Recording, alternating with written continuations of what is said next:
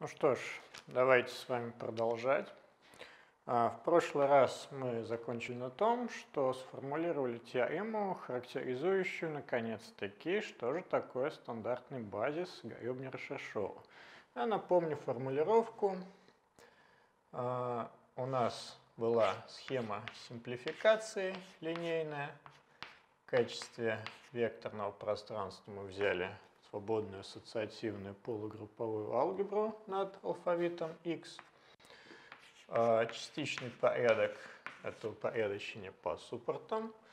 А, и симплификаторы – это редукция относительно системы порождающих некоторого идеала И а, двустороннего нашей алгебры.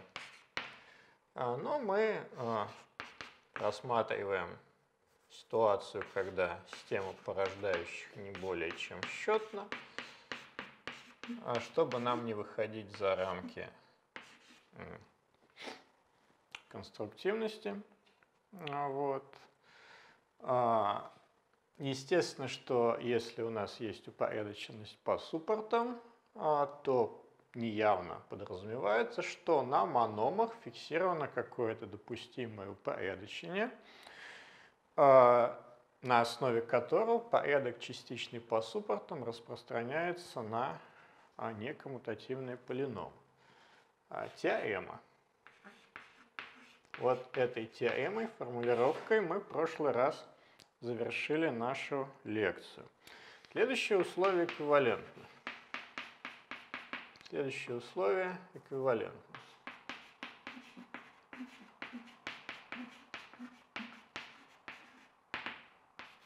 Первое. G – это стандартный базис идеала И.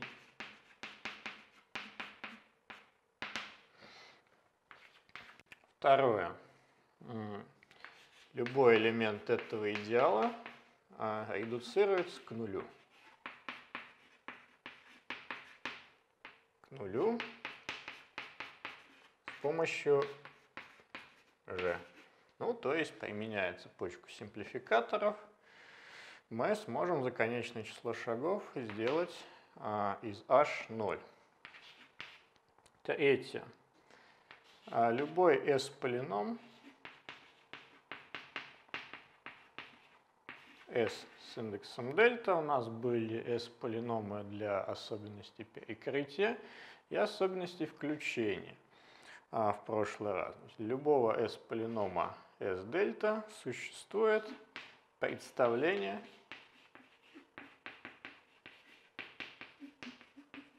а, с параметром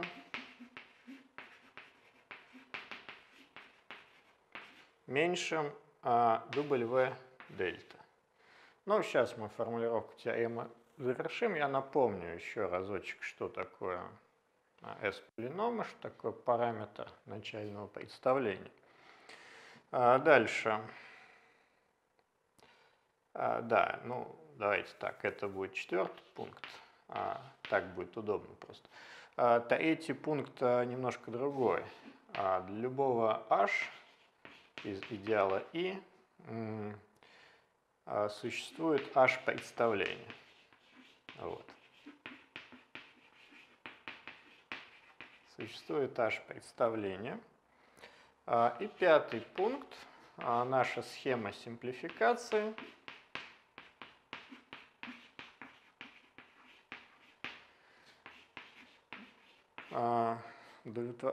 обладает свойством канонизации.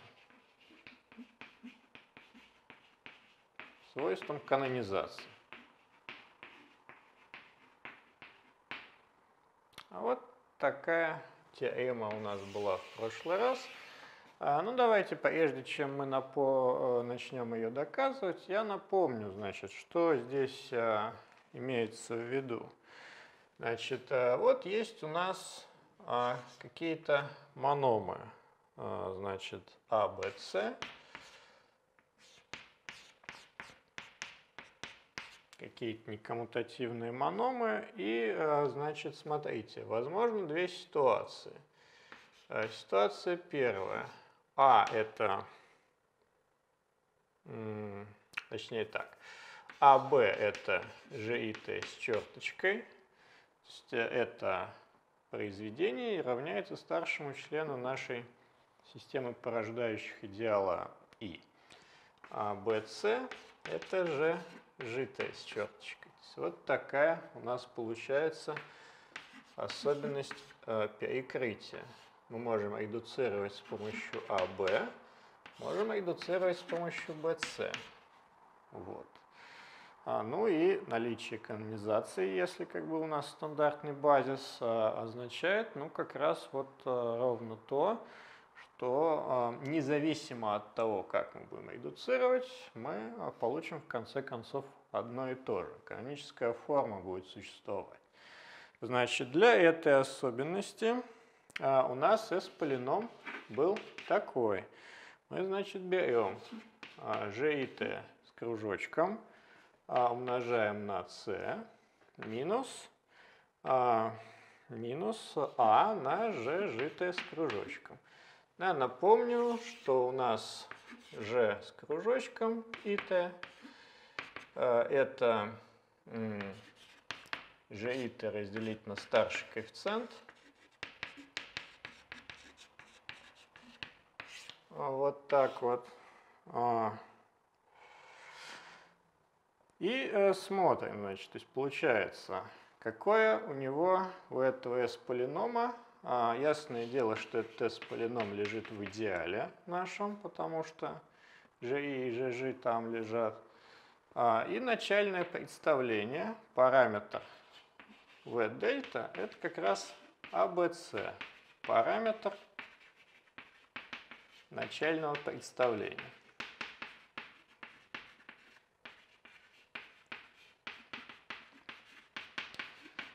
Начального представления единичка.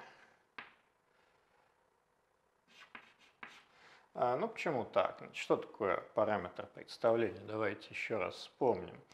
Там мы, значит, смотрим, какой старший, э, ну, в общем, значит, рассматриваем все мономы, какие есть, выделяем в каждом маноме старший член – а, и берем максимум. получается в нашем случае v дельта это максимум из старшего члена этого слагаемого старшего монома и вот этого. Значит, а, ну тут видно, что А, Б, С в обоих случаях. А, вот а, такое. А, вторая особенность какая может быть? Особенность включения. А, это у нас а, следующее. А, это у нас... А, Снова есть маном АБС, мономы АБС.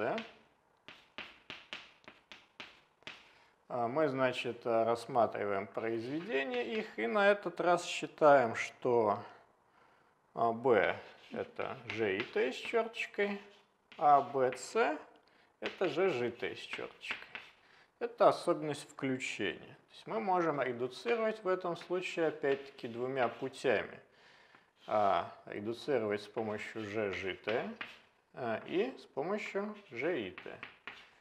А, S-полином для этой конструкции, а, ну, такой. Значит, мы должны взять А, T с кружочком на C а, и вычесть а, отсюда T с кружочком.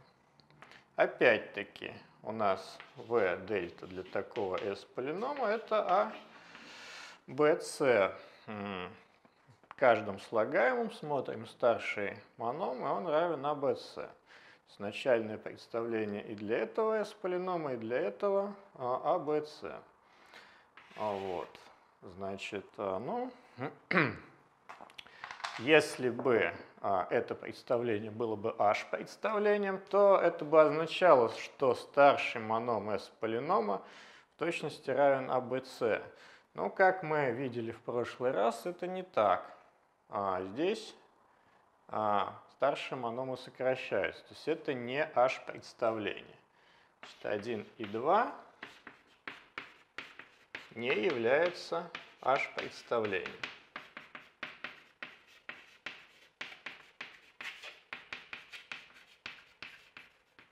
Вот таким образом. А, ну, давайте докажем это, эту теорему а, из 1 в 2. А, что означает, что G это стандартный базис? Ну, мы определяли это так. А, старший а, моном любого элемента идеала I содержит в качестве подслова старший моном какого-то элемента из системы порождающих этого идеала. Ну, то есть получается так. Значит, фиксируем любой элемент h нашего идеала. Вот тогда а, h а, ну, можно расписать как сумму по i. Ну, сумма конечная здесь будет. Альфа i у i, g i, v i, где альфа i из k, у i, v i из нашей алгебры. Вот таким образом. А, ну, что это дает? По условию, по условию у нас а, идеал старших членов порождается старшими членами системы порождающих. Поэтому существует, существует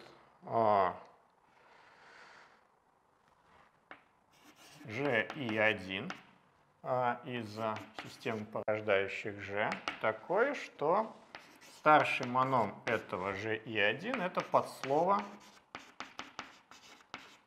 в старшем а, мономе а, многочлена H.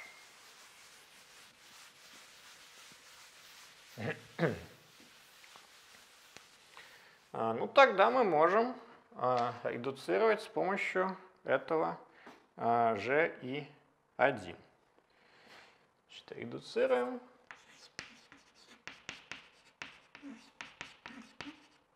H с помощью G и 1. Ну, более конкретно, что мы должны сделать? Мы выделим в этом представлении Э, выделим в старшем мономе многочлена H а, моном G и 1 с черточкой. А, посмотрим, что там слева стоит, что там справа, что за мономы. И применим соответствующий симплификатор. Все остальные мономы, кроме такого, он будет оставлять на месте, и по линейности мы таким образом редуцируем всю вот эту конструкцию. Э, получим h, ну, один какой-то, да, то есть другой элемент, а, он тоже будет лежать в идеале. Тоже будет лежать в идеале. Ну почему? Потому что редукция идет так. Мы, значит, GIT а, с черточкой а, заменяем на соответствующее FIT. Это младшие члены многочлена G и первого. По модулю идеала это одно и то же. Ну, значит, мы из идеала не выходим. Что вот.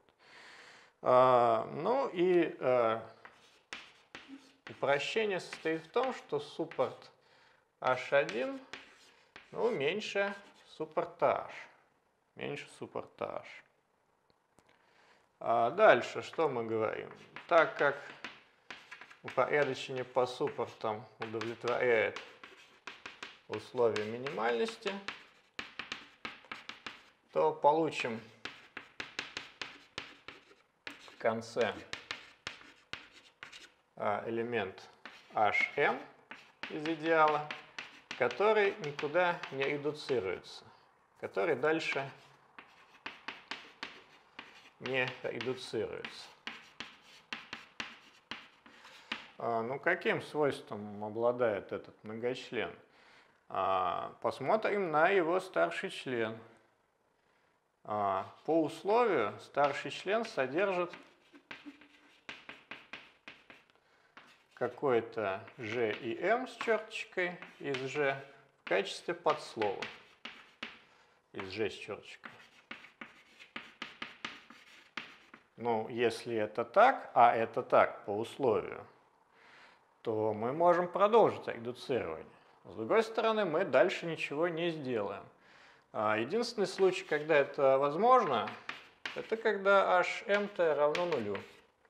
Вот мы это редуцировали а, к нулю наш а. Давайте наоборот, из 2 в 1 докажем. Пусть э, любой элемент а, идеала i редуцируется к нулю. А, что тогда как бы у нас получается? Так как любой h из i редуцируется нулю с помощью g, то что мы можем сказать?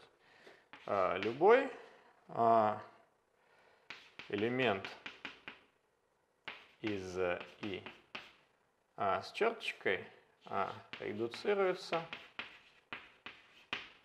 а,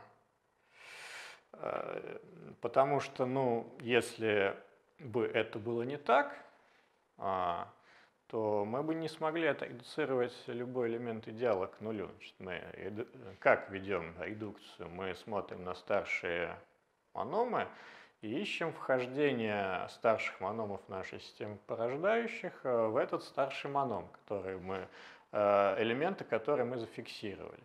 Ну, э, значит, а поскольку этот элемент можно отредуцировать к нулю, то там вхождение такое обязательно будет, если этот многочлен был не нулевой. Поэтому обязательно мы получим искомое равенство потому что в другом случае мы бы не могли отредуцировать к нулю, а вопреки тому, что у нас есть. А, давайте дальше. А, из двух мы получим 3. А, значит, построим h представление для... Ну, тут я написал «существует», это, конечно, неправда. Для любого, для любого элемента h существует h представление. А, да. Значит, ну, как мы будем это делать? Как мы будем это делать? Пусть а, у нас есть элемент h, а, ну, посмотрим. У нас есть двойка, а двойка эквивалентна единице, как мы уже поняли. Поэтому из 2 у нас а, вытекает, что старший член этого многочлена, э, старший моном, есть э, u с черточкой на g и t с черточкой для какого-то g итого из нашей системы порождающих, идеала i. Вот такое есть у нас соотношение на старшие члены. Пусть W это параметр представления h. Ну вот э, как-то этот h раскладывается по системе порождающих вот таким вот образом. Э, посмотрим на параметр. Еще раз, что такое параметр? Это мы должны взять э, в этой сумме старшие члены каждого слагаемого – а, ну и вот максимальный такой старший член объявить параметром, независимо от того, сокращаются они, не сокращаются. Но вот если они сокращаются, то этот параметр будет больше, чем старший член многочлена h. То есть мы имеем при любом раскладе соотношение, что W больше либо равно, чем h а, с черточкой. Если есть равенство, то мы все сделали, у нас аж представление есть. Поэтому будем считать, что W больше строго, чем h чертой. Ну, а вот это сравнение понимается в смысле допустимого порядка, который ну, участвует в определении порядка по суппортам. Значит, вот таким образом. Давайте верхнюю часть мы а, сотрем так, так вот как-то и продолжим.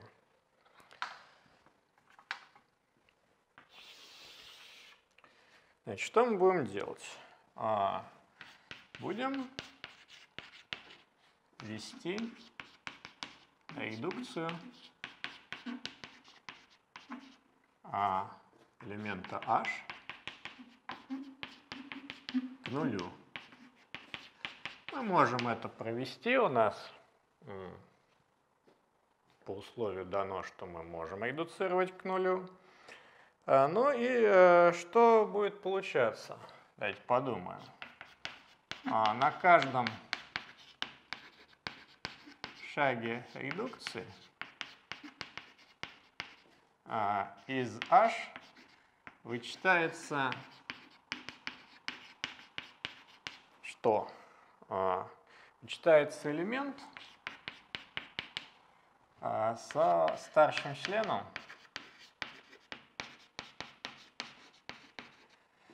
меньше либо равным старшего члена этого элемента. А почему? Ну, на первой редукции мы посмотрим на старший член.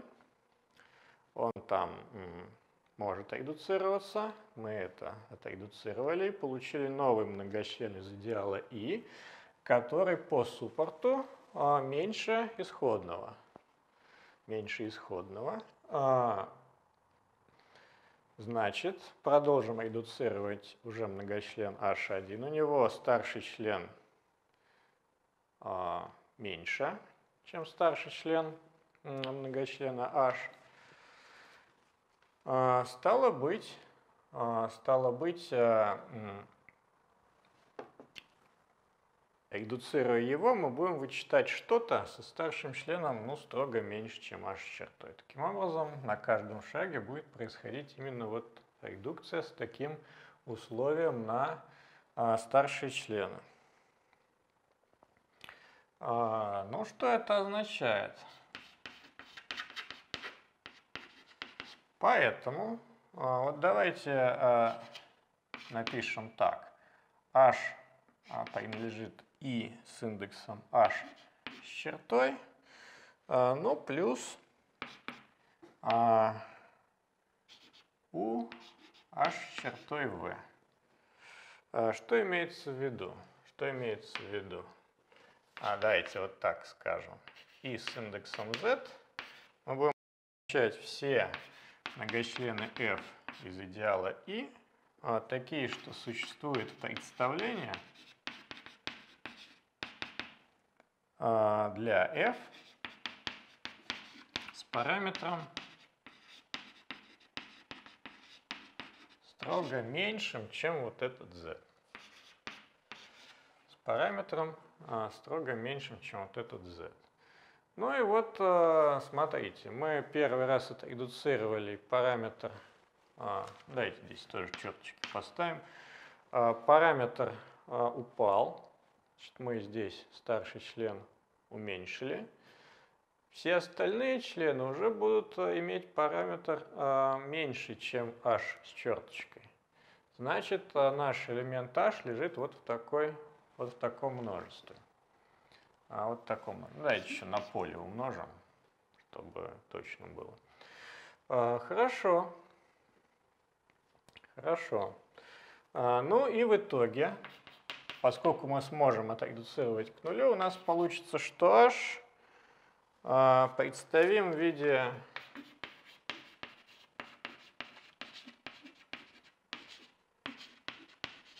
э, линейной комбинации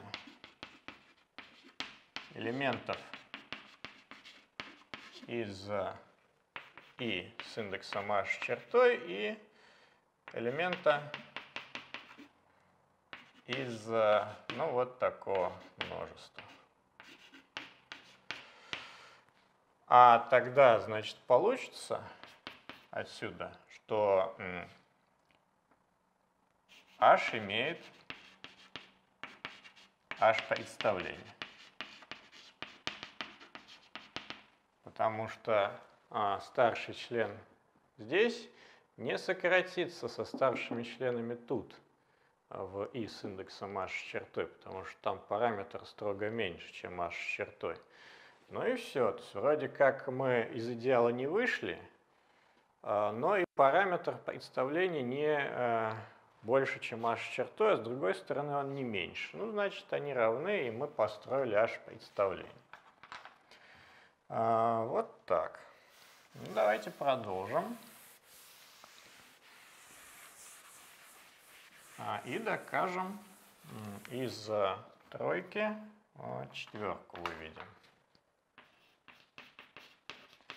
А это значит, что там у нас было? Тройка – это существование h представления, а четверка – это что любой s-полином а, обладает представлением меньшим начального. А, но это достаточно просто. Рассмотрим s-полином. Тогда, как уже было замечено, его старший член, независимо от того, что там за особенность, включения или перекрытия, старший член меньше W дельта по определению S-полином. А, но S-полином лежит в идеале, Сюда следует по условию ТАИ существует представление для S с индексом дельта с параметром S дельта с черточкой. Ну, а это как раз то, что нам нужно. Это то, что нам нужно. А, ну, из 4 получим 5. Ну, вот это чуть посложнее делается, но тоже, в принципе, общая идея, общая концепция, ну, довольно-таки понятна. Значит, э, что нам нужно сделать? Нам нужно показать, что а, независимо от того, как мы там редуцируем, у нас нормальная форма а, любого элемента из нашей алгебры ассоциативной полугрупповой будет а, определена однозначно. Значит, давайте это сделаем. Пусть это не так. То есть пусть существует многочлен, а, без канонической формы. Без канонической формы. А, тогда вот мы, когда а, в общем виде схему симплификации рассматривали, в частности схем, линейную схему симплификации, а, у нас было следующее. У нас было следующее.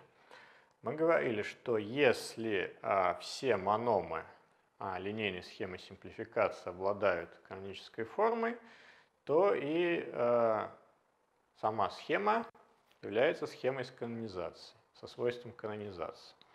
Таким образом, если у нас есть какой-то многочлен без канонической формы, то тогда существует и моном а, без канонической формы. Моном z какой-нибудь. Давайте его так обозначим. Без канонической формы.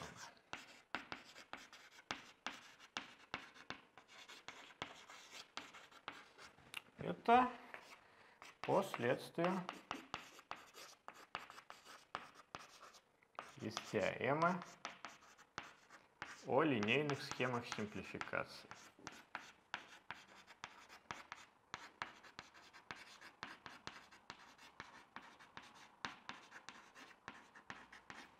Вот так. Хорошо. А, из всех таких выберем минимальный. Пусть z это вот такой минимальный плохой моном. В том смысле, что а, он не обладает канонической формой. Что мы будем делать дальше? А, ну, раз у него нет канонической формы, то существует две возможных а, редукции с помощью RI, с помощью RG симплификаторов. Ну, симплификатор RI отвечает а, элементу G и тому системы порождающих идеал. Ну, а, значит, нам не принципиально, а что там за левый моном и правый, ну вот можно где-нибудь в там писать U1, V1, U2, V2, U1, U2 это мономы, ну и V1, V2 тоже. Так, значит, у нас получится с одной стороны R и Z, с другой стороны R, G, Z. И, значит, по свойству симплификаторов а, будет выполняться неравенство r и z меньше z и rg z меньше z. То есть э, это уже не минимальные элементы. А в, в классе плохих, значит они не являются плохими. А поэтому мы можем довести до конца до канонической формы элемента R и Z э, и до канонической формы RGZ.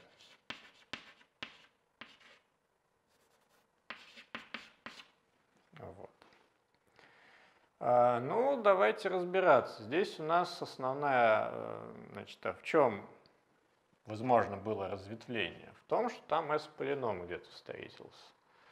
Давайте разбираться. Случай первый.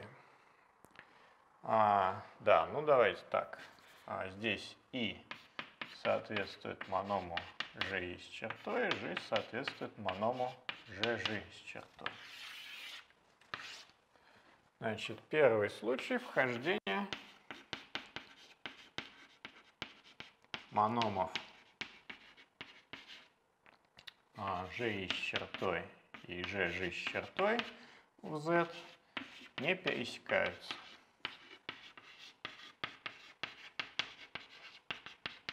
Не пересекаются. Ну, то есть у нас получается Z устроено таким образом. У, G, I а с черточкой, V, а G, G с черточкой, W. А, вот так. То есть зацепления нет. А, ну, в таком случае, в таком случае R и Z а, чему у нас равно? Мы должны, значит, пройтись по вот этому слову, G с чертой вхождения заменить на младшие члены, а G, G вхождение оставить на месте. А, ну, значит, получится что? U на F и V, G, G с чертой, W.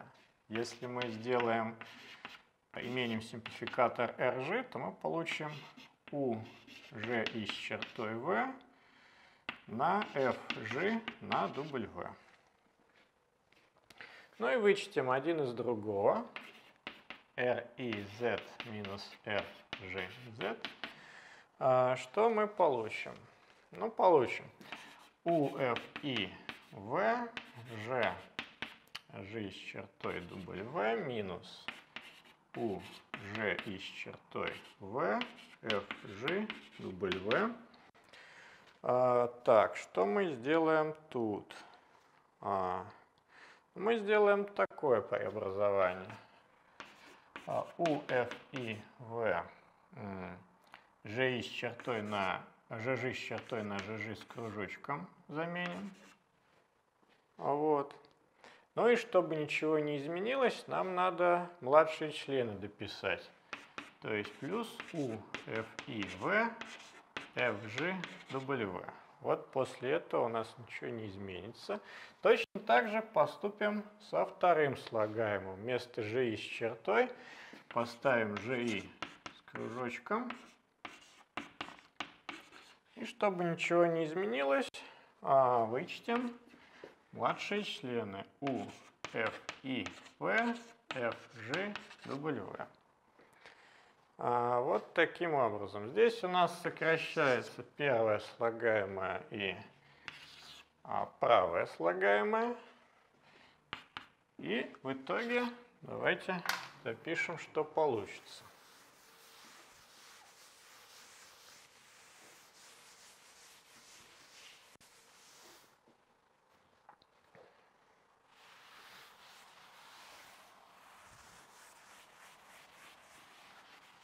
После того, как мы делаем сокращение, а, у нас получится выражение а, ну, такого вида. А, значит, так, я не то подчеркнул.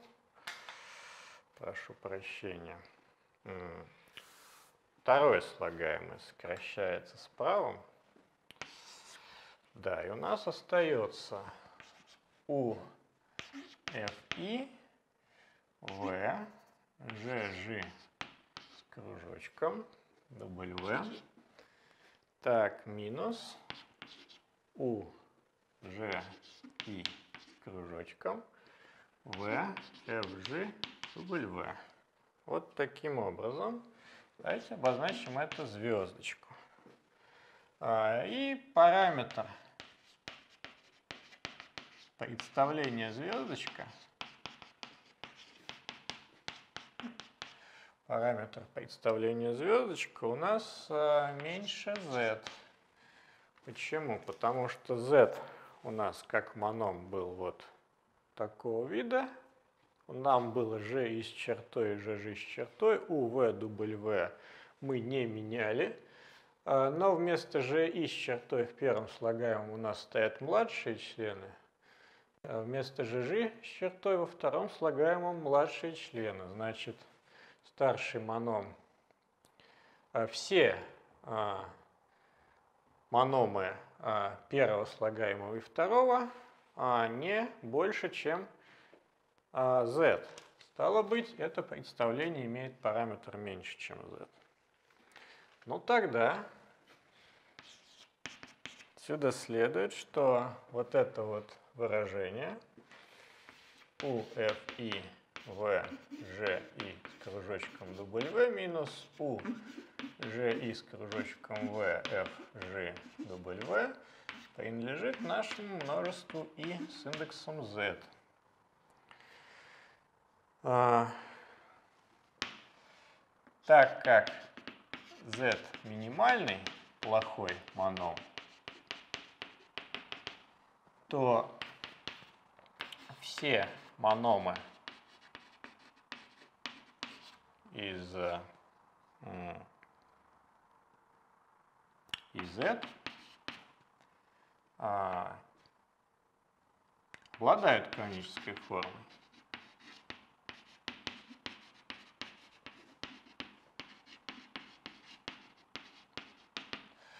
А, ну а тогда у нас и с индексом z легко видеть, что это подпространство. Что это подпространство в нашей алгебре. Стало быть, если все мономы оттуда обладают канонической формой, то и все элементы из и z обладают канонической формой.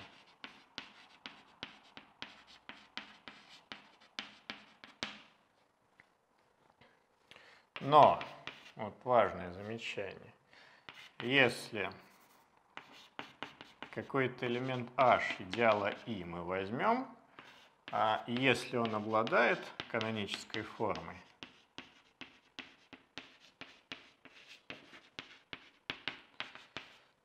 то она нулевая.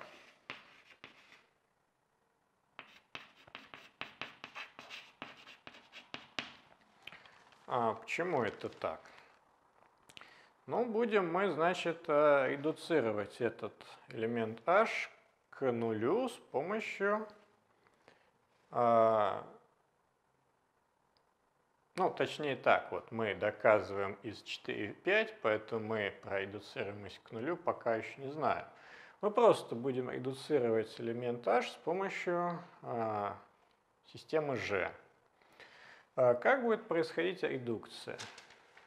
А, редукция происходит следующим образом. Мы смотрим на представление этого элемента h, а, и достаточно таким образом нам показать, что каждое слагаемое этого представления ну, редуцируется как-то. а, к нулю. Если мы это а, сделаем, а, то все как бы будет хорошо. А, ну, давайте вот, пожалуй, все-таки так мы запишем пока и с индексом z. А, почему значит, она нулевая?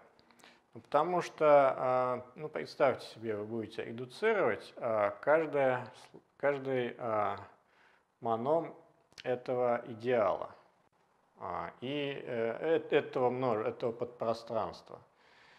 Значит, вы будете уменьшать старший член этого манома.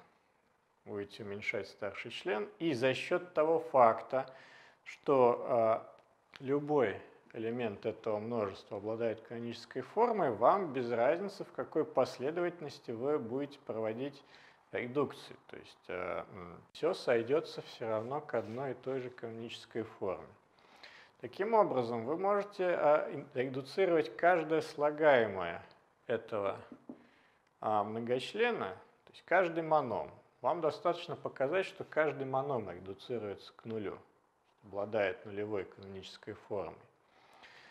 А, ну, это очень просто делается, а, ведь мономы там в конечном счете будут устроены так. уже и ТВ для какого-то же ИТВ из нашей системы порождающих. И тут стоят а, какие-то мономы слева и справа. Вот. Ну а как он а, редуцируется? С помощью симплификатора пусть чертой и v с чертой, мы его... А, ну, тут, да, можно считать, что GIT с кружочком. Если что, мы на старший коэффициент сократим. И мы просто а, заменяем на младшие члены. Но по факту, а, дайте так, GIT с чертой. Но по факту там слагаемое GIT с кружочком, а, множитель GIT с кружочком есть а он есть э, GIT с чертой минус FIT. Поэтому, применяя симплификатор, вы GIT с, с черточкой заменяете на FIT, и тут все сокращается. FIT наш симплификатор э, не трогает. То есть любой такой маном редуцируется к нулю. Э, и зная, что неважно в какой последовательности редуцировать, вы таким образом все мономы э, в h отредуцируете к нулю, ну значит и он тоже отредуцируется к нулю, потому что э, коническая форма это линейный оператор на подпространстве элементов с конической формой. Вот. Таким образом мы можем а,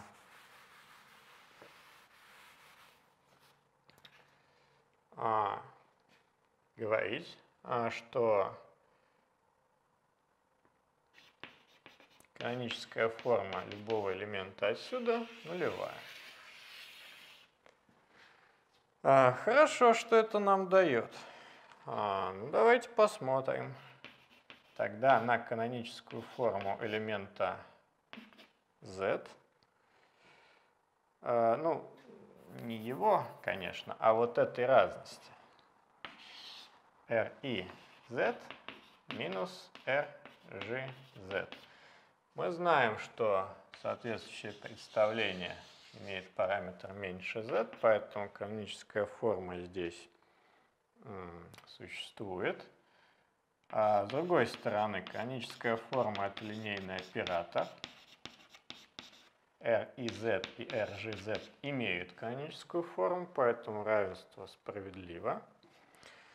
А вот с одной стороны это получается каноническая форма 1, каноническая форма 2 с другой стороны.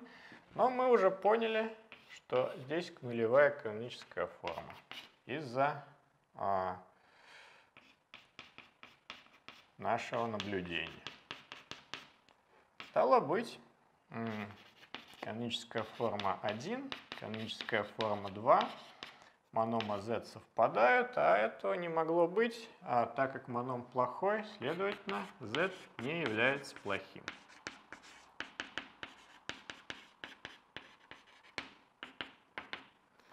Итак, э, каноническую форму а, мы построили для каждого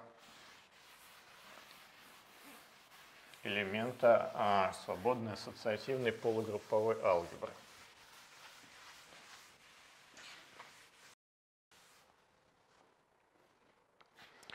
Ну и э, давайте закольцуем. Из пятерки выведем двойку. Из пятерки вы, выведем двойку. Значит, у нас что есть?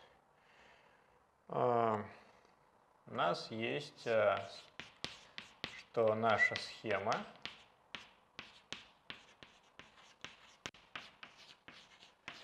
обладает свойством канонизации.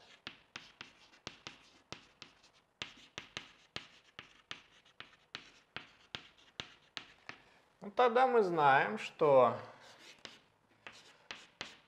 а, вся алгебра распадается в прямую сумму под пространство нормальных элементов и под пространство элементов нулевой канонической формой. Это из теоремы о линейных схемах симплификации. n – это подпространство нормальных элементов –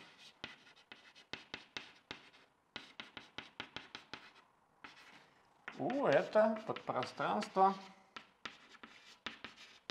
элементов с нулевой канонической формой.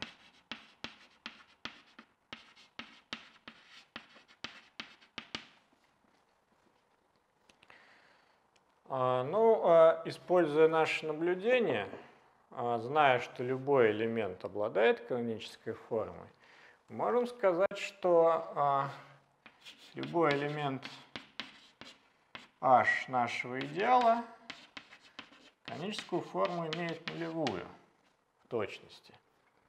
Каноническую форму имеет нулевую в точности. Но стало быть, а, h редуцируется к нулю. а это есть 2. И более того,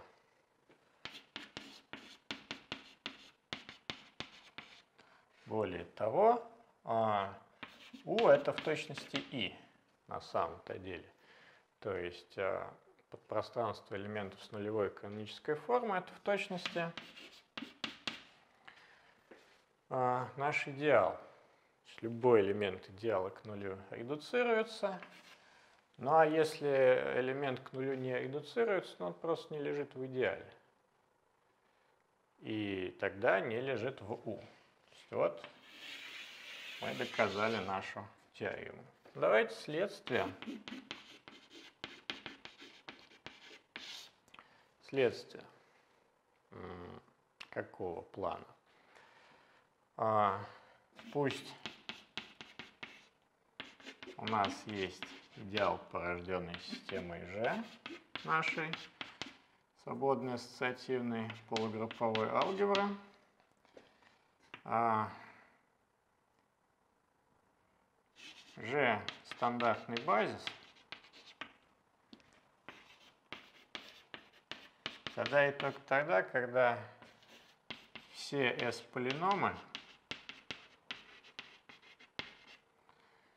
а, редуцируется к нулю.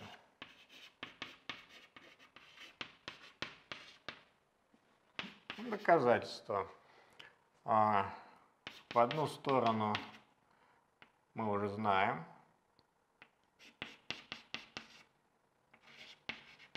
Потому что если у нас стандартный базис, то любой элемент идеала редуцируется к нулю, в частности любой S-полином. Другую сторону Пусть у нас все s полиномы редуцируются к нулю, а, тогда а, схема симплификации наша, с которой мы работаем, а, удовлетворяет условия локального слияния.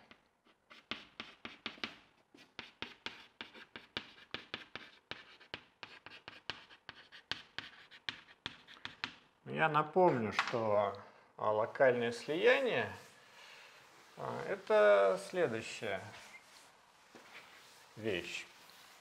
Мы берем, значит, а, элемент нашей, нашего, в данном случае, подпространства, редуцируем двумя путями И рано или поздно уткнемся в один и тот же элемент f1. А, вот а, такое выполняется. Ну и в чем нам это помогает?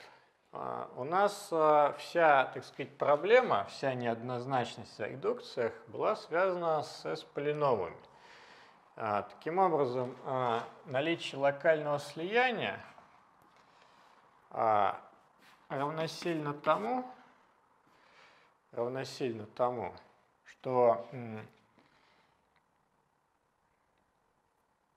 ну, фактически э, любой s полином редуцируется к нулю, потому что наличие s полинома означает, что мы, редуцируя разными путями, не, ну вот, э, можем получить разные элементы нормальные, но если S-полином это редуцировался к нулю, то этого не происходит.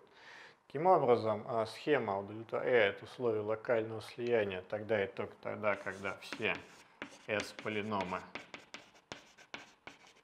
редуцируются к нулю. Ну а мы знаем, что если в схеме симплификации выполнены условия локального слияния, то тогда она обладает свойством канонизации. Обладает свойством канонизации.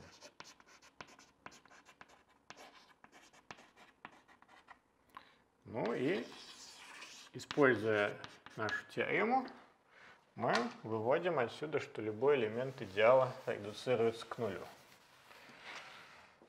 А, ну вот, таким образом следствие доказано. А, ну, давайте, значит, поговорим про некоторые алгоритмические аспекты, ну, не вдаваясь пока в глубокие подробности, которые у нас будут уже после того, как мы а, с системами нелинейных алгебраических уравнений разберемся. А, ну вот, а, алгоритмические вопросы такого простого порядка.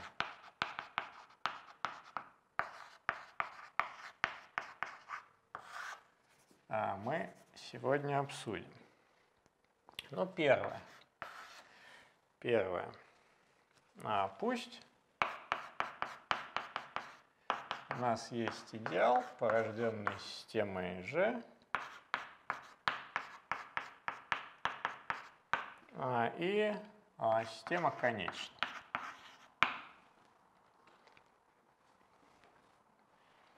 Если оказалось, что это стандартный базис, а, тогда проблема вхождения в идеал –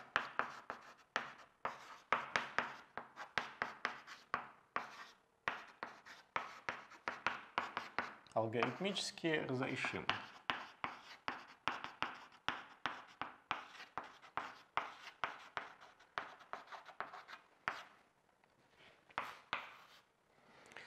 А, ну, значит, возьмем нашу схему симплификации.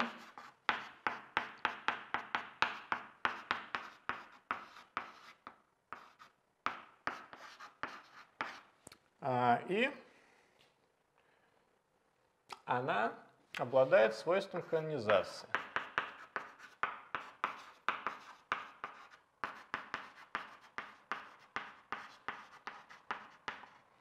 И мы уже поняли, что элемент h принадлежит идеалу тогда и только тогда, когда его каноническая форма нулевая. совпадает только тогда, когда его каноническая форма нулевая. А, применяем. К h симплификатора.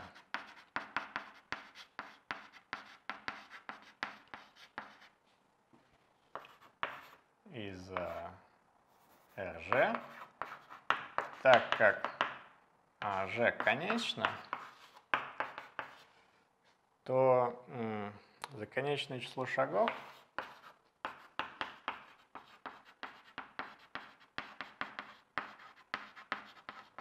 получим каноническую форму. Ну и посмотрим, просто равна она нулю или нет. Если равна, значит лежит, не равна, значит не лежит.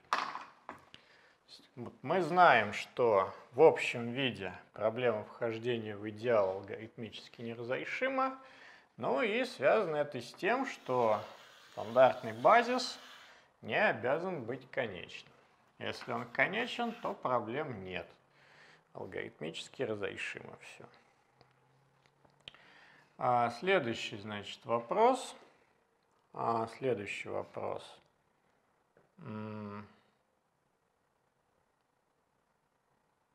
Пусть идеал порождается системой G, и система G, ну, конечно.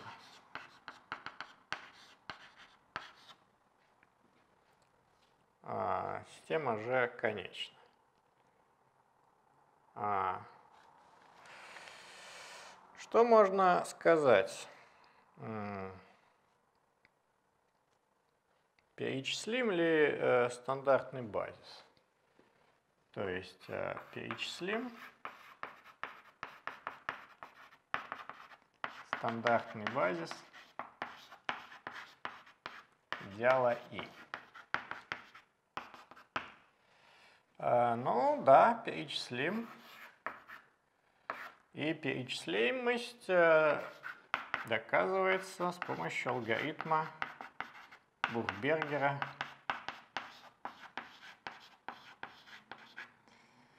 А, ну, Бухбергера Шершова на самом деле. А, ну, алгоритм в кавычках возьмем, так сказать, это никакой не алгоритм, если, так сказать, мы базис стандартный бесконечный будем получать, то мы просто его будем выписывать, выписывать, выписывать, и, а, в общем-то, за конечное число шагов мы не остановимся. Но, по крайней мере, мы его эффективно сможем занумеровать. В этом как бы и смысл утверждения. Давайте докажем. И если а, стандартный базис будет конечным, то то, что мы будем делать, на самом деле будет алгоритмом. И мы за конечное число шагов, применяя вот процедуру, которую мы сейчас будем применять, мы построим стандартный базис. Ну, делается так. Возьмем, значит, а, систему HI, а поделим, где каждый HI просто возьмем равным GI, где G это система порождающих идеала I. А, значит, S1 число определим как M, количество элементов в исходной системе порождающих. А что мы будем делать? А, строим все S-полиномы, строим все S-полиномы для системы H 1 и так далее, HS1.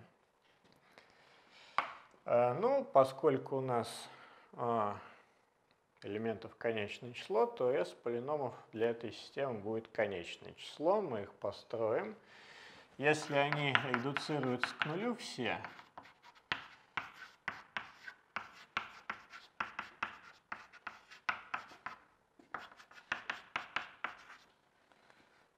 то мы все построили.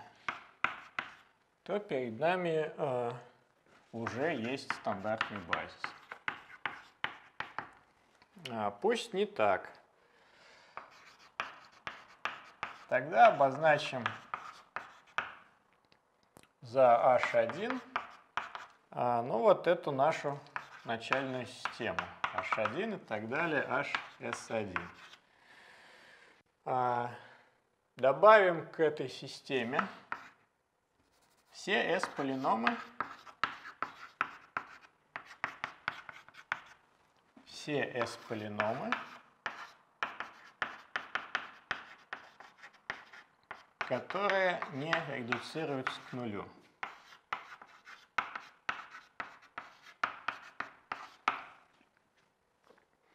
Получим новую систему. Систему H2, H1 и так далее, HS1, HS1 плюс 1 и так далее, HS2. В этой системе а, уже все S-полиномы из H1 будут к нулю редуцироваться. Все S-полиномы из H1 а, уже редуцируются к нулю с помощью H2. А, тогда, значит, мы а, строим H3 как H2, объединенное со всеми S-полиномами,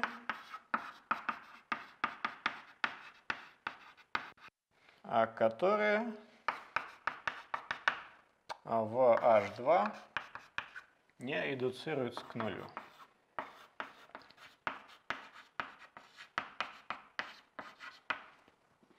И так далее. Так далее. В итоге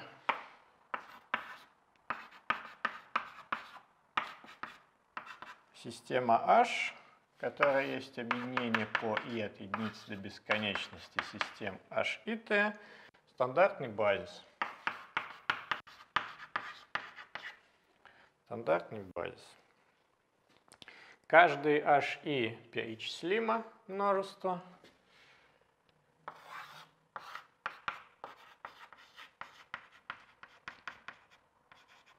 Значит, и h перечислим.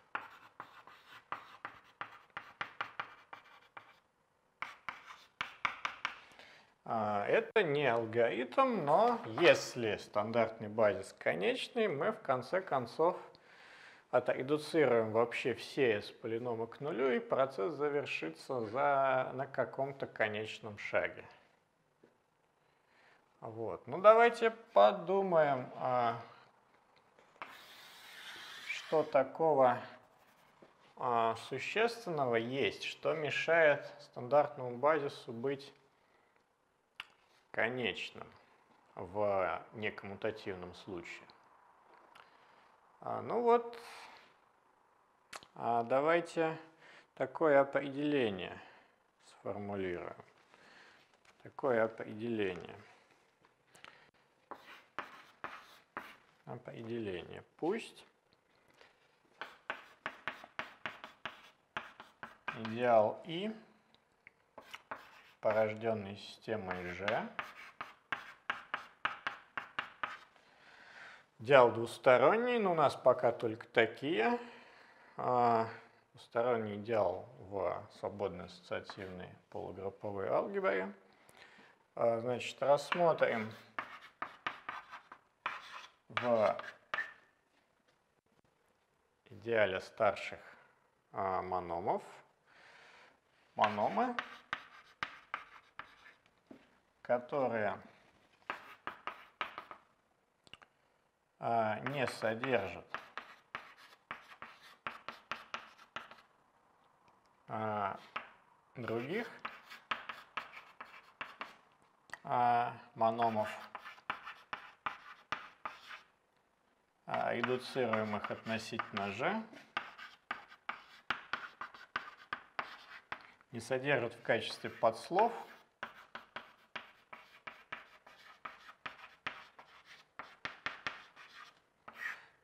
других мономов, а, редуцируемых относительно g. А, значит, вот такие мономы называются обструкциями. Такие мономы называются обструкциями.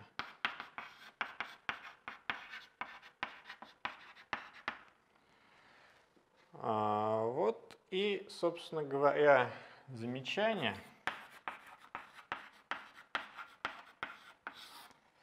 состоит вот в чем. G а, является стандартным базисом тогда и только тогда, когда а, множество старших мономов системы, порождающих G, содержит все обструкции.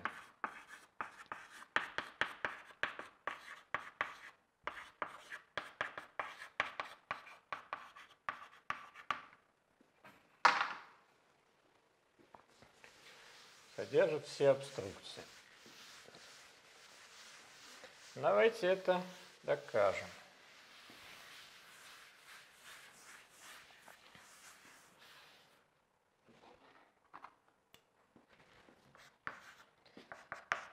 Ну, в одну сторону.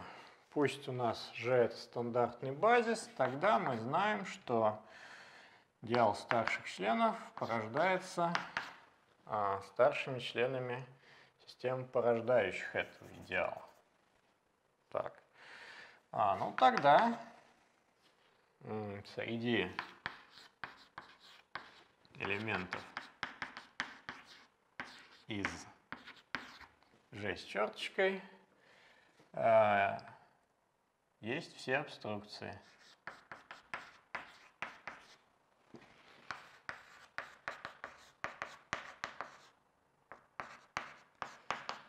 Так как иначе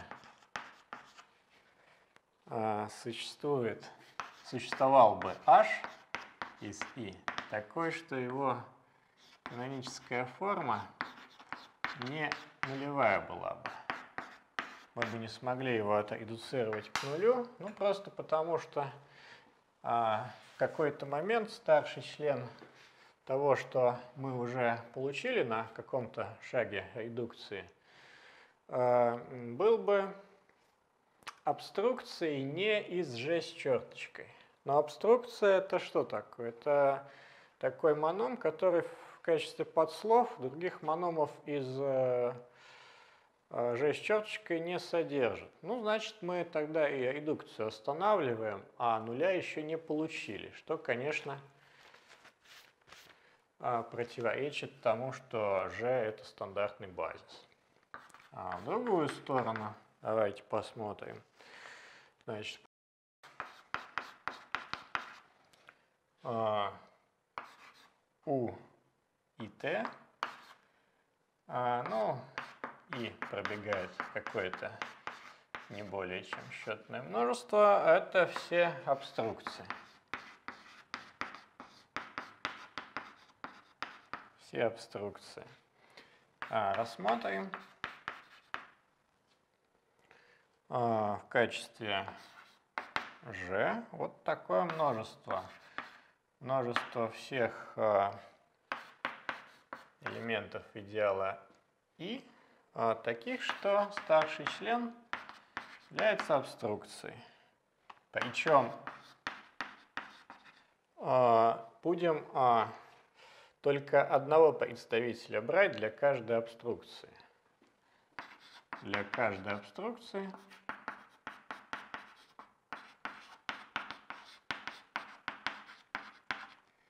берем один представитель.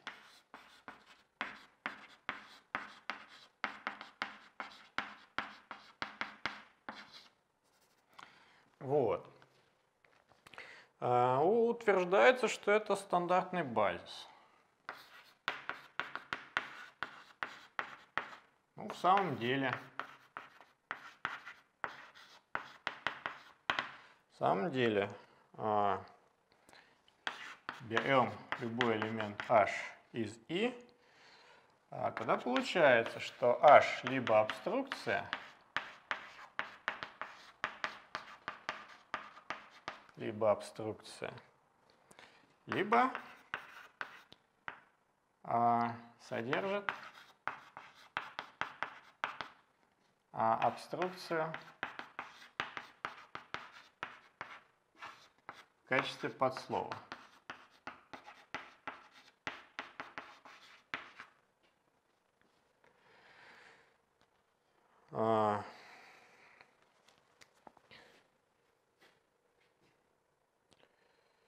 Ну почему так? Ну потому что у нас э, идеал И порождается системой G. Если мы в качестве системы G возьмем такую, то и посмотрим на старший член, тогда либо это обструкция, но э, значит это нас устраивает, либо э, это не обструкция. Но если это не обструкция, то там есть а, подслов, подслова, которое индуцируется относительно «ж». Стало быть, где-то там в этом подслове есть обструкция, которая а, вот в качестве подслова содержится. Ну тогда а, в этом случае h редуцируется помощью некоторого уитова, с помощью там, обструкции к h1. И старший член h1 меньше старшего члена h. А, снова смотрим, значит, старший член либо обструкция,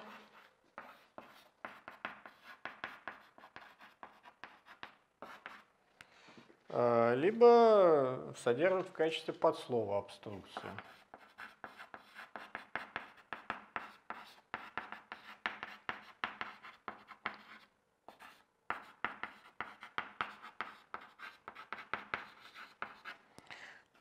А, если а, эта обструкция, то нас это устраивает, потому что мы а, имеем соответствующий элемент системы G, у которого старший член в точности совпадает с нашим H1 с черточкой, и мы таким образом редуцируем к нулю. Либо продолжим процесс. Получим многочлен H2, у которого старший член меньше старшего члена H1. А, но конечном итоге а, у нас процесс а, завершится, так как порядок на мономах допустимый и таким образом удовлетворяет условия минимальности. В итоге мы отредуцируем к нулю.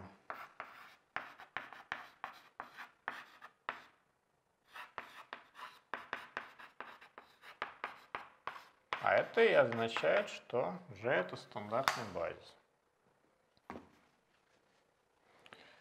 То есть э, все упирается в обструкции. Если обструкций достаточно много в системе порождающих, э, ну не в системе порождающих, а в качестве э, старших членов системы порождающих, то тогда же это стандартный базис. В противном случае это не так. В противном случае это не так. Ну и следствие. А, следствие такое. Идеал И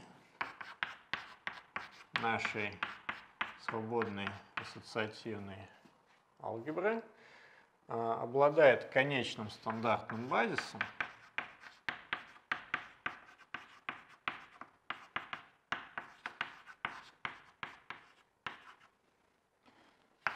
ну, он порождается системой G, а тогда и только тогда, когда число обструкций конечно.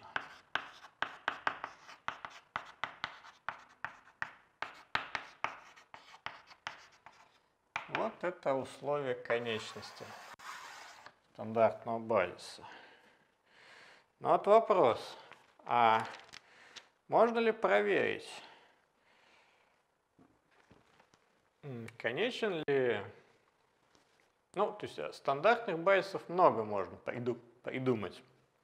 Например, взять вообще все элементы идеала, какие есть. А, ну, это будет стандартный базис, но с сильно большим запасом. И как бы никакой пользы от этого стандартного базиса у нас не будет. Поэтому мы а, из этих всех стандартных базисов а, должны выбрать какой-нибудь наиболее простой для нас. Вот давайте в связи с этим сформулируем такое определение. А, стандартный базис G в идеале I а, называется редуцированным, редуцированным.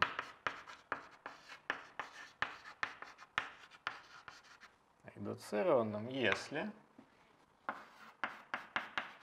если первое, а, любого g из систем порождающих а, старший коэффициент равен единице. Ну, то есть мы в любой момент можем на старший коэффициент поделить, добиться этого. Это условие не такое существенное. И второе условие, что мы э, не можем отредуцировать никакой элемент системы порождающих к нулю. Не редуцируется к нулю помощью остальных элементов. Он только с помощью себя редуцируется к нулю, с помощью остальных не редуцируется. А, ну и вот а, утверждение, а, которое говорит о том, что редуцированный стандартный базис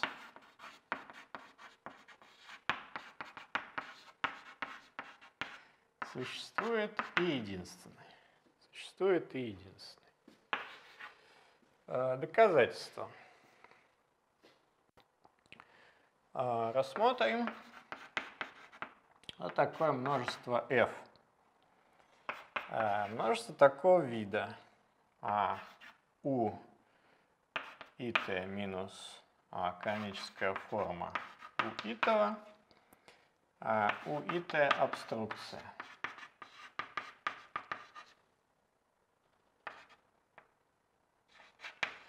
Ну, у нас а, как бы, мы будем говорить, что мы берем вообще все обструкции, какие есть. А, ну, их можно занумеровать натуральными числами, поэтому мы можем индекс i ставить. А, и пробегает не более чем счетная множество. Если абструкция конечна, оно конечно. Если бесконечно, то их счетное число. И вот такое множество посмотрим. Что мы можем про него сказать? А, ну, во-первых, это множество является подмножеством а, нашего идеала i. А, ну, почему? Так как наша алгебра а, наша алгебра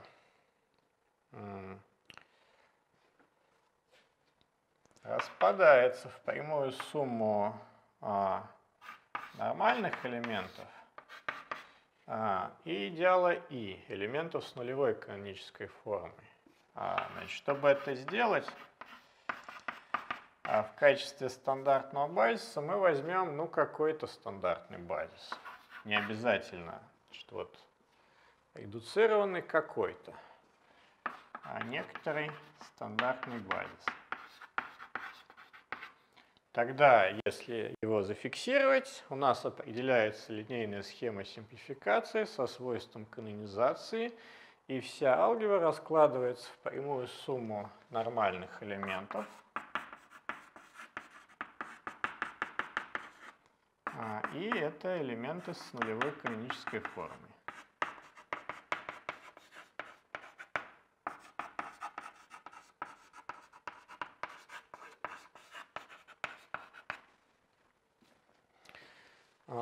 Таким образом. Ну хорошо, хорошо. А, посмотрим тогда на каноническую форму. А,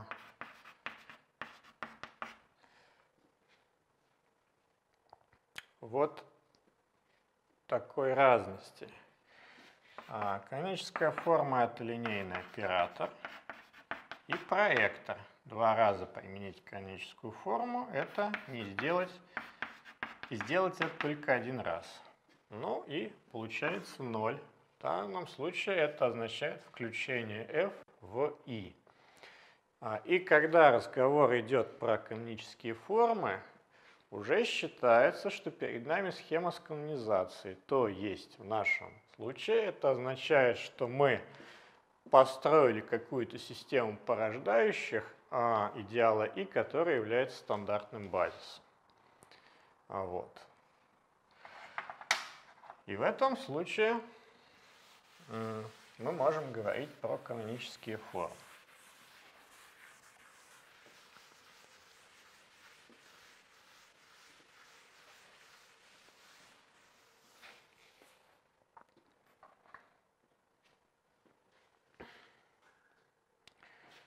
А, хорошо, давайте убедимся в том, что f это редуцированный стандартный базис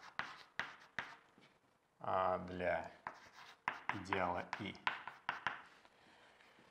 А, ну, почему так?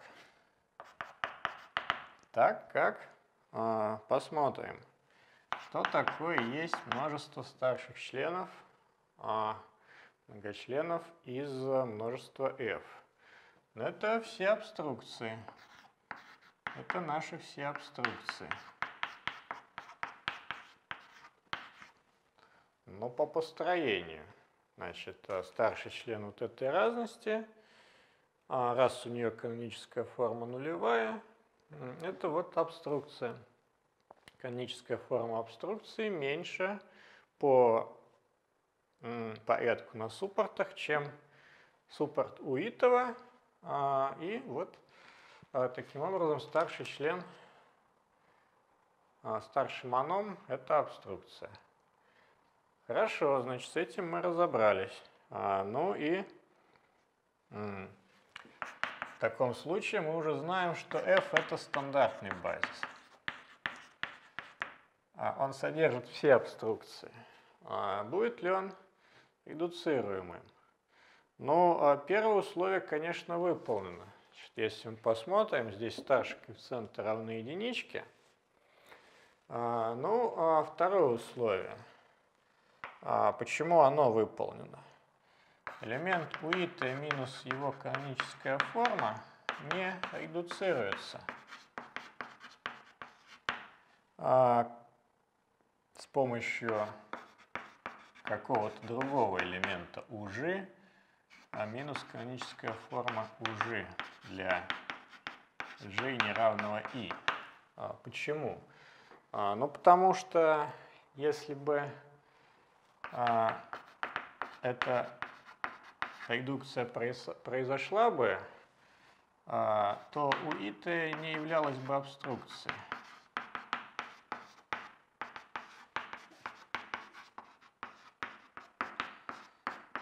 Чтобы редуцировать, мы должны в старшем члене отыскать в качестве подслова, ну, старший член системы порождающих, относительно которой мы редуцируем. Ну, в частности, там где-то обструкция есть.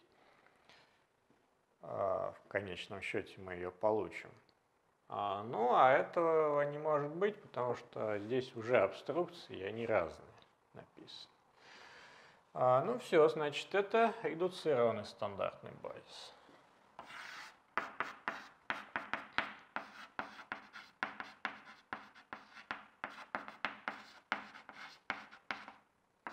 редуцированный стандартный базис. А, единственность существования а, показали. То есть, имея некоторый стандартный базис, вычислив с помощью этого стандартного базиса канонические формы всех абструкций и произведя вот такое вычитание, мы можем построить редуцированный стандартный базис. Ну вот, Пусть э, f1 это какой-то редуцированный стандартный базис для i. Но вот вопрос, э, как он устроен. Тогда f1 это абструкция минус нормальный элемент. У it абструкция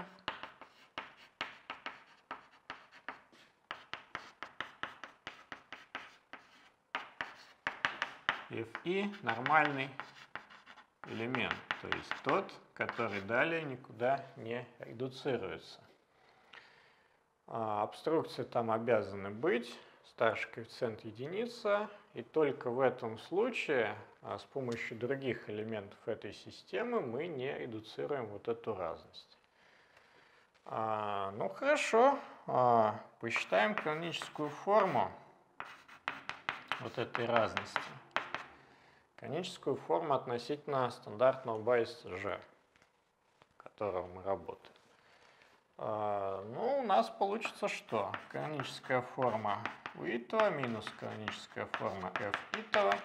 Но f ито нормальный элемент, он никуда больше не редуцируется. Поэтому каноническая форма его это он сам. А с другой стороны, каноническая форма разности нулевая. А, ну, так как абструкция минус нормальный элемент а лежит вот в идеале. Так как отличается от абструкции только на вот этот нормальный элемент, а у нас тут прямая сумма написана вследствие того, что мы имеем дело а, с а, схемой симплификации со свойством канонизации. То есть а, вот таким образом f определяется однозначно и является канонической формой. Вот. Таким образом мы а, имеем, что редуцированный стандартный базис существует и единственный. А, ну, давайте обсудим вот такой вопрос. А, есть у нас система порождающих идеала И, ну, конечная пускай будет. А, мы уже понимаем, как определить, является ли а, данная система стандартным базисом или нет. То есть вот мы просто берем все S-полиномы. Второй аспект алгоритмический. Мы просто берем все S-полиномы Смотрим, редуцируются ли они к нулю. Если да, то перед нами стандартный базис. Если нет, то базис не является стандартным. Вот предположим, что у нас есть идеал, конечно, порожденный. А существует ли алгоритм проверки того,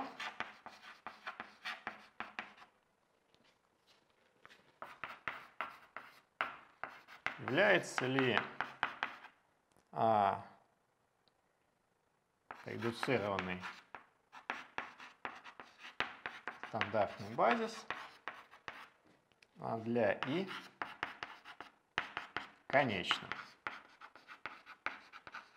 Ну, не обязательно редуцированный брать, хоть какой-то. Хоть какой-то стандартный базис – не обязательно редуцирован. Является ли хоть какой-то стандартный базис конечным? А, можно ли это проверить алгоритмически? Утверждение. А, массовая проблема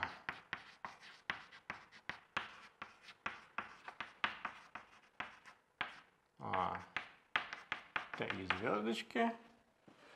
Вот это алгоритмически неразрешимо.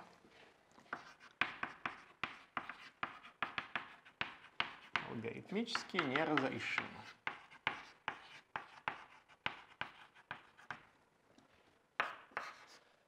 То есть, э, ну, не очень-то много у нас свободы. А, мы не можем даже убедиться в том, является ли стандартный базис конечной. Существует ли конечный стандартный базис, хоть какой-нибудь, ну, например, редуцированный. А, ну, поэтому мы многие вопросы в свободной ассоциативной алгебре и алгоритмически решить-то и не в состоянии. Ну, почему это так? А, давайте сделаем следующее. Рассмотрим алфавит X конечный и полугруппу с единицей в этом алфавите. H а, полугруппа, ну, моноид, полугруппа с единицей а, в алфавите X а, заданное по представлению. По представлению. То есть имеется в виду, что ну, не любую там, не любой моноид мы рассмотрим, а вот такой. То есть это моноид, порожденный а, алфавитом X, а, базовые эквивалентности выглядят так. Ну, тут есть единицы, поэтому можно писать x1 эквивалентная единица и так далее, xn эквивалентная единица. Вот такой моноид мы возьмем. Ну, если там все буквы эквивалентны единице, то ясно, что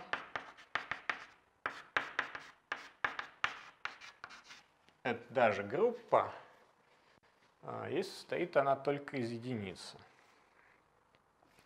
А дальше мы рассмотрим идеал G, а, порожденный вот этими разностями x1 минус 1 и так далее, xn минус 1. Это двусторонний идеал свободной ассоциативной полугрупповой алгебры над алфавитом x. А, ну, на первой лекции мы узнали, когда доказывали алгоритмическую неразрешимость проблемы вхождения в идеал, мы э, узнали, что два слова в алфавите x э, эквивалентны в полугруппе h, тогда и только тогда, когда разность их попадает в идеал разность их попадает в идеал. Ну и если а, соответствующий алгоритм.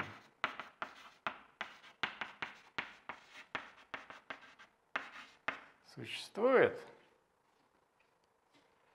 а, ну, какой алгоритм соответствующий? Проверки является ли хоть какой-нибудь а, базис стандартный? А, конечный соответствующий алгоритм существует, то по, по представлению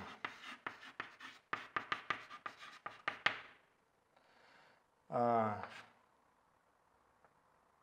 два, двойки еще вроде сегодня не было, по ко-представлению 2 можно распознать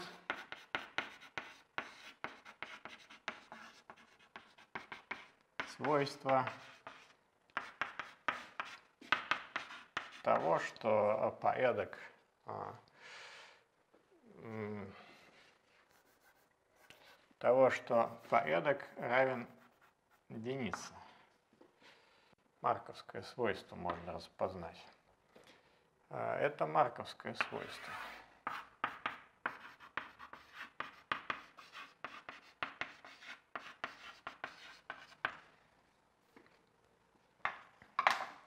Ну, на первой лекции мы про это говорили.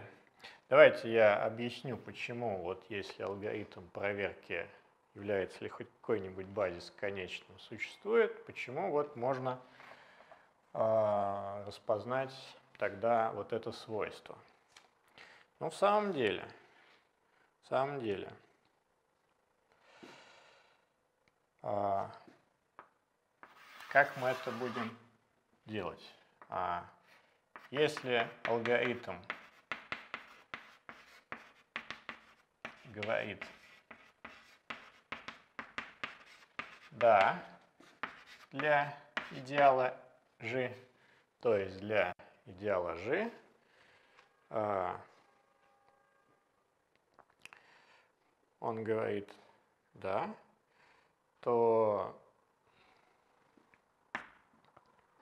давайте, давайте абстрактно, не для какого-то идеала, а просто вот есть у нас массовая проблема, а мы запускаем алгоритм. Отдельные задачи проблемы мы занумеровали натуральными числами. На вход этому алгоритму подается натуральное число, и он говорит да или нет, в зависимости от того, соответствующая отдельная задача. В данном случае в роли отдельной задачи у нас выступает а, идеал какой-то, и вот он говорит, этот идеал обладает хоть каким-то стандартным базисом конечным или нет. Если алгоритм говорит «да», то а,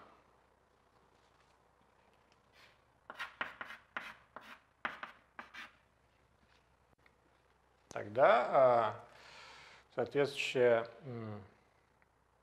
полугруппа а, по порядку равна единице. И как это можно распознать? А, это можно распознать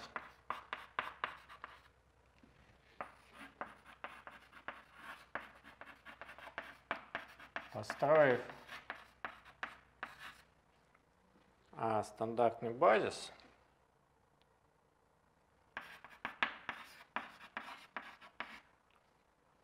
а, конечный.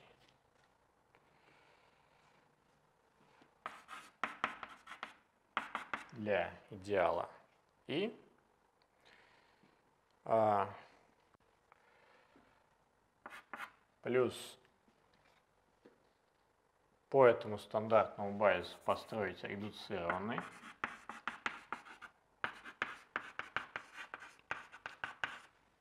редуцированный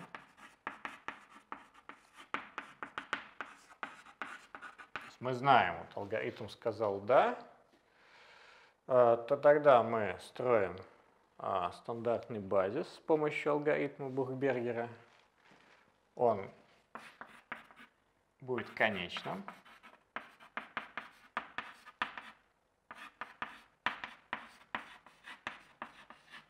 Так как мы это знаем. А, по стандартному базису мы смотрим, значит, все возможные редуцирования элементов стандартного базиса проводим, получаем редуцированный стандартный базис а, и сравниваем его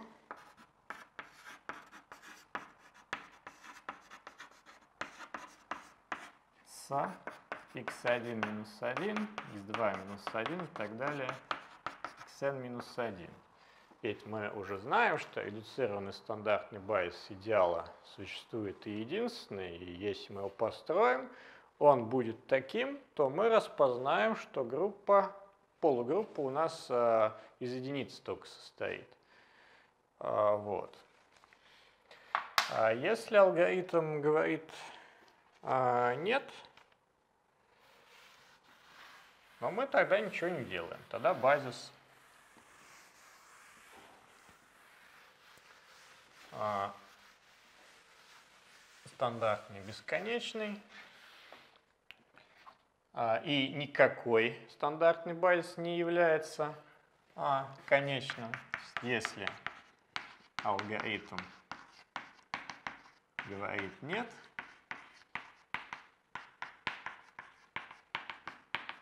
то соответствующая полугруппа а, ну, не совпадает с единицей, потому как а, в случае совпадения ее с единицей, как мы видели, соответствующий идеал а, был бы а, обладал бы конечным стандартным базисом, а это вот не так. Нам алгоритм сказал, что это не так. А, вот, то есть получается, то есть, а, имея алгоритм проверки конечности а, а, стандартного базиса, мы а, получим алгоритм распознавания марковского свойства.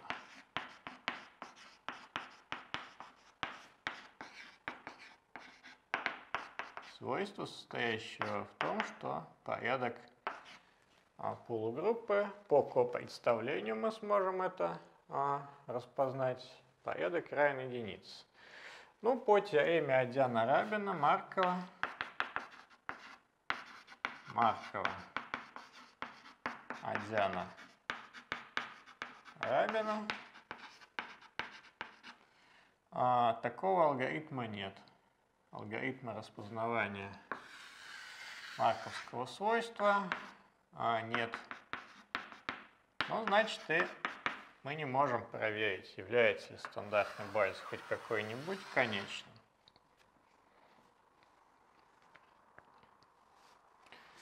А, вот. Ну, как построить редуцированный стандартный базис? Что вот, давайте обсудим это тоже. Я думаю, на вот этом мы завершим. Что вот есть а, стандартный базис какой-то, конечный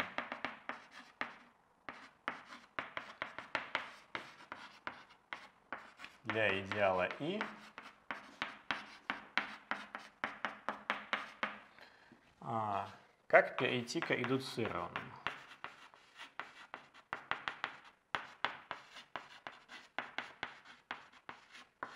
Как перейти к редуцированному? А, ну, значит, э, берем G1, редуцируем. помощью а, всех остальных элементов стандартного базиса. А, получим затем, да, давайте, G2 редуцируем с помощью остальных элементов. А, и так далее. Получим G1 с черточкой и так далее, GM с черточкой. Давайте с крышкой. Черточки это у нас старшие члены. А, и вот это будет а, редуцированный стандартный базис.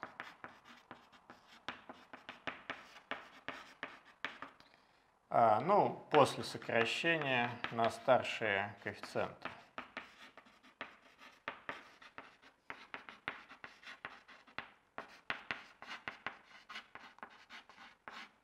после сокращения на старшие коэффициенты. Почему? Ну, потому что каждый элемент далее с помощью остальных никуда не редуцируется. А, и поскольку он, этот байс, существует единственным, но мы вот его и получим, собственно говоря. То есть вот, а, имея а, стандартный базис какой-то, мы можем алгоритмически перейти к редуцированному. Это нам проблемы не составляет никакой. И таким образом вот алгоритма а, ответа на вопрос, существует ли хоть какой-нибудь конечный стандартный базис, мы не можем построить. Мы не можем построить. А, ну, давайте еще, я думаю, вот так парочку примеров а, редуцированных стандартных байсов мы рассмотрим. А, и на этом завершим на сегодня.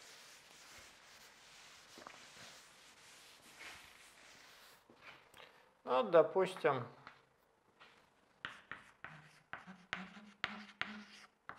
пример первый. Возьмем а,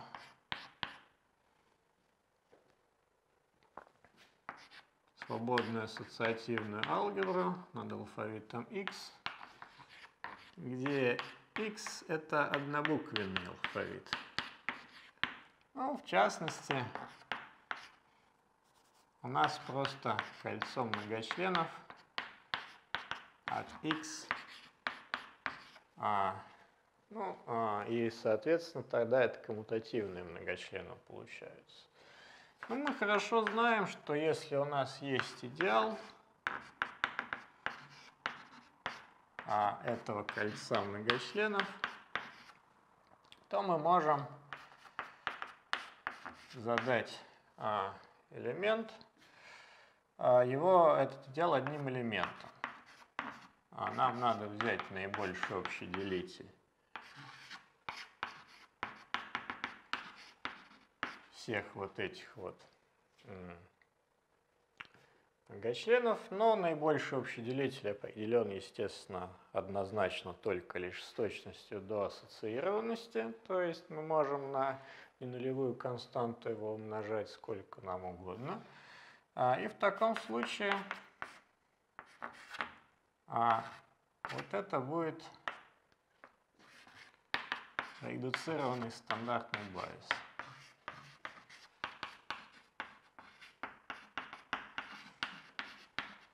Ну, конечно, тут надо определить, как мы сравниваем мономы. Ну, сравнение естественное. А тут проблем нет никаких. Мы говорим, что x степени i меньше x в степени g, если i меньше g. Вот. И тогда мы, конечно, можем запустить тот же самый алгоритм Евклида, например. По факту это алгоритм Бухбергера, но только вот для специального случая, и построить редуцированный стандартный базис. Ну, второй пример. Рассмотрим систему а, линейных алгебраических уравнений от n переменных а, с m неизвестными. А, от n переменных с m уравнениями.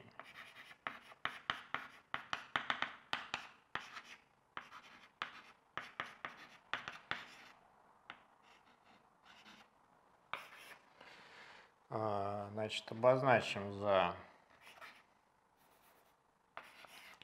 G и T. Это разница между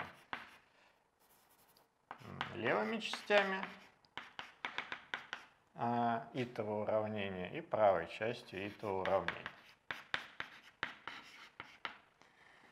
Рассмотрим идеал, порожденный элементами G1 и так далее, Gm идеал, ну, кольца коммутативных многочленов от x1 и так далее, xn.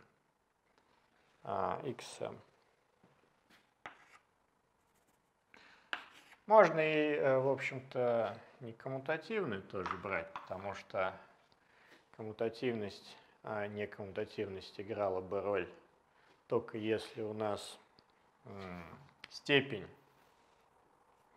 каждого уравнения не была бы первой, то есть тут были бы нелинейности какие-то, но этого нет, поэтому можем писать квадратные скобки, можем писать э, угловые скобки, это не имеет абсолютно никакого значения. Ну и вот, естественно, тут уже нужно задать упорядоченность. А, ну, скажем, x1 мы будем говорить, что больше x2 и так далее меньше xn. Вот такой порядок переменных мы возьмем. И будем а, методом Гаусс приводить к ступенчатому виду. А, элементарное преобразование строк.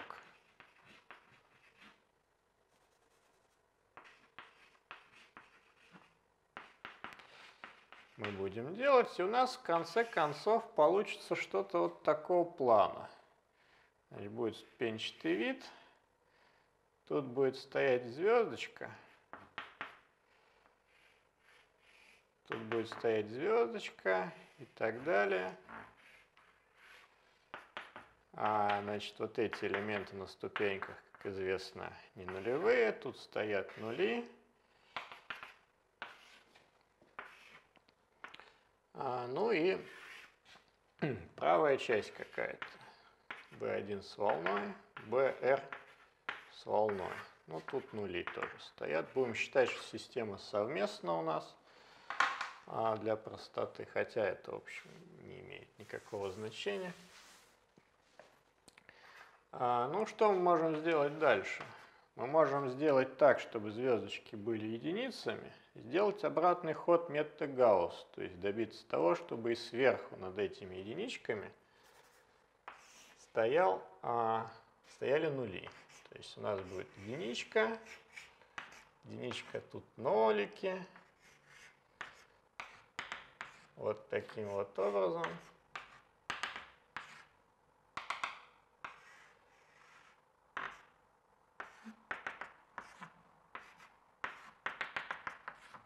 Ну, внизу нули. Ну, здесь B1 с крышкой, BR с крышкой, тут нули.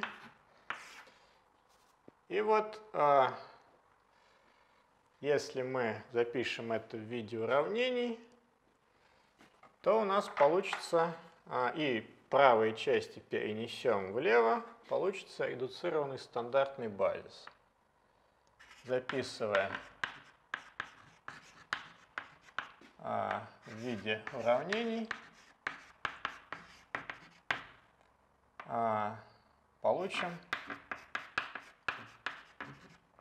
элементы редуцированного стандартного базиса для идеала И. Вот, то есть а получается, что такой вид, если мы а, зафиксировали упорядоченность иксов, а такой вид, а именно матрица системы в таком виде определена однозначно по системе.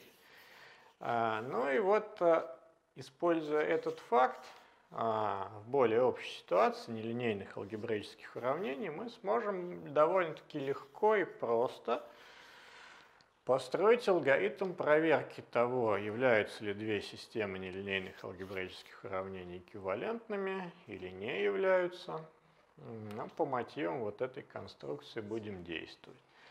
А, ну, тогда, значит, на сегодня все. В следующий раз продолжим. Спасибо. До следующей недели.